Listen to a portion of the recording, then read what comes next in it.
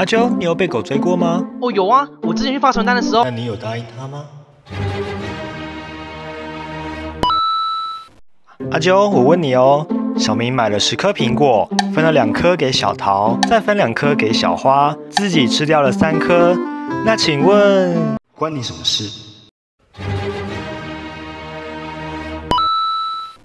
阿秋，手借我，跟你玩一个游戏。哦，想象这只手是你的家，拇指是玄关，食指是客厅，中指是厨房，无名指是卧室，小指是浴室。